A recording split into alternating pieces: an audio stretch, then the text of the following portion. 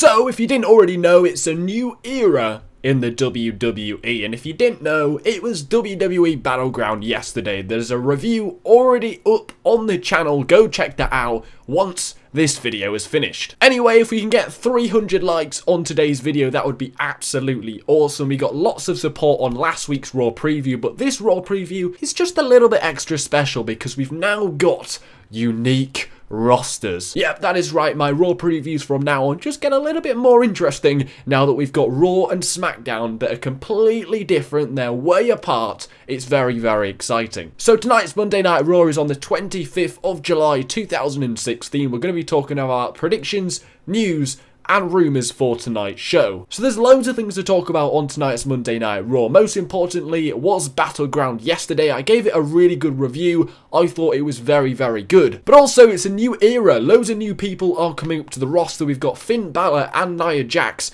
probably making their debut on tonight's show, so it is really, really special. There, of course, will be a huge buzz in the air. When something like this happens in the WWE, it always feels just a little bit more special, and I think we will definitely get that feeling on tonight's Raw. Now, it will be pretty strange for fans to tune into tonight's Monday Night Raw and not see the likes of John Cena, Dean Ambrose, Randy Orton, and it, it, will take a while to adjust to it, but this is the new era in the WWE, and we're going to have to get used to it. I think the main thing people are concerned about for tonight's Raw is how are they going to fill three hours with such a slim roster. Now, half the roster, maybe one third of the roster probably, has gone to SmackDown, and they've only got two thirds of the roster. How are they going to still continue to make three hour Raws when, when they had a full roster, they couldn't really do it anyway? And it's also going to be really, really difficult due to the fact they don't have a World Championship on Raw, and they don't even have Brock Lesnar to build up the main event of SummerSlam. So I don't know, I'm pretty apprehensive of tonight's Raw and the next upcoming Raws. What do you guys think? Do you think they can still continue to build up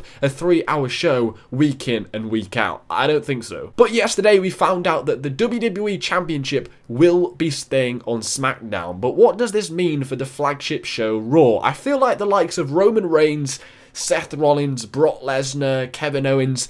If there isn't a World Championship on Monday Night Raw, it'll just feel like they're kind of being wasted a little bit and they'll just be like dotted around and not really knowing what to do with them. They really do need a World Championship on Raw, so will tonight be the night we get the World Heavyweight Championship returning to Monday Night Raw. It's for sure that Stephanie McMahon won't be happy that the title stayed on SmackDown, so will she retaliate and bring back the World Heavyweight Championship? They definitely need something on that show for the likes of Rollins, Reigns, all these main event stars to fight for. And also, what does this really mean for the Shield triple threat? Dean Ambrose did retain his title, but are we going to get a rematch? Usually when we get an interesting and entertaining match on a pay-per-view, we usually get a rematch the pay-per-view after. And this certainly was a really good match, but will we get this match again? Can you guys be bothered to wait another five weeks to see this match again? I'm not really that sure. And do you think they will do it again? Was it just a one-off thing now that Dean Ambrose is on SmackDown? It does make it a little bit harder. And if they don't do it again, what does this mean for Rollins and Reigns as we come up to SummerSlam? Are they going to bring back the World Heavyweight Championship? What are they going to do with Roman? Is he going to finally turn heel on tonight's Monday Night Raw? If they're not doing the Shield Triple Threat match again at SummerSlam, I really don't know what it means for Dean Ambrose, but especially Roman and Rollins on tonight's Raw. Another announcement we could get on tonight's show is the Cruiserweight division. What is happening with the Cruiserweight division? We haven't really heard a lot about it. Will Stephanie McMahon retaliate? Will she get her own back on SmackDown on tonight's Raw by announcing something special about the Cruiserweight division? Will we get a first glimpse at the Cruiserweight Championship? Or maybe just get a little bit of a glimpse of who will be entering the division when it comes about? Talking about the Cruiserweight division, could Finn Balor be the pioneer of that division? Now, he will be making his main roster debut on tonight's Raw. It is well overdue. This will be the number one moment to watch out for on tonight's show. But will he form his Balor Club? People are suggesting him, Gallows, and Anderson, now that they're all on Raw and AJ's on SmackDown, will we finally get the Bullet Club or the Balor Club now that Balor is on the main roster. Also, we got a show stealer last night, Call the Sheriff, because Kevin Owens and Sami Zayn stole the show. This match was this match was awesome, but now that they are still on Raw, people suggested that one would go to Raw, one would go to SmackDown. But now that they're on the same show, do you guys think we're going to get one more match at SummerSlam between the two? I definitely think we should. I'd really like to see an Iron Man match, Hell in a Cell match, something like that at SummerSlam. End this feud once and for all in exciting fashion. Hopefully on tonight's Raw we do get a sense that we will be getting one more match between the two, but we'll have to see on tonight's Raw what their plans are for Kevin Owens and Sami Zayn. Also, with Sasha Banks tapping out Charlotte on Last Alliance Battleground, it is pretty clear Sasha will face Charlotte for the women's title at SummerSlam, which is really awesome. I wanted to see that match at Battleground, but we're definitely going to get it at SummerSlam, so watch out for that on tonight's Monday Night Raw. Also, what does this mean for Bayley? It just kind of seemed like it was just a one-off thing now, which absolutely sucks.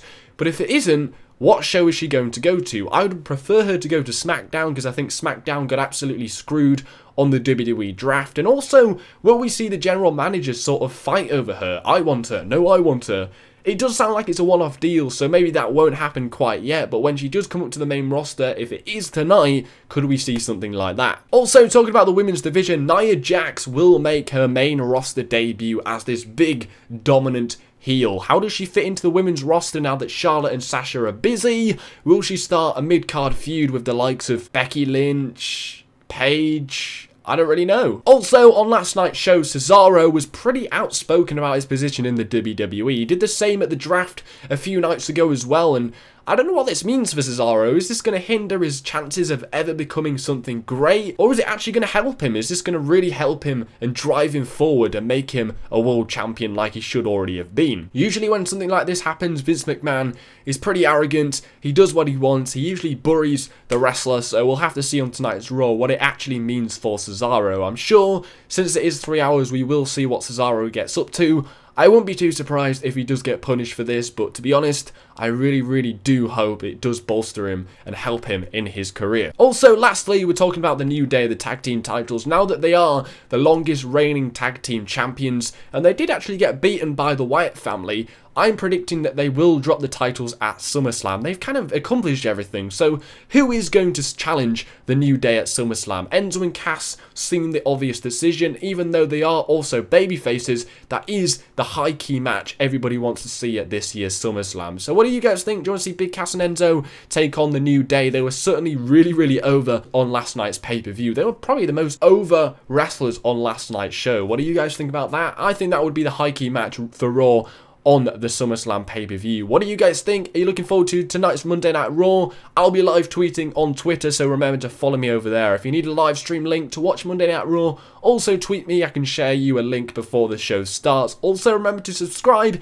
Check out my Battleground review on the channel. 300 likes would be absolutely awesome. Take care. Spike your hair.